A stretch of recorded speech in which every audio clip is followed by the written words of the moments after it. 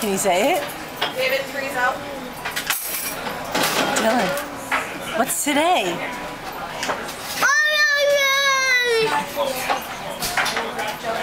Ryan, Delaney. Hi.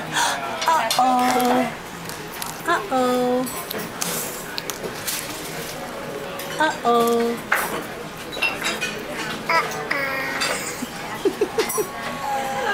That's her Father's Day.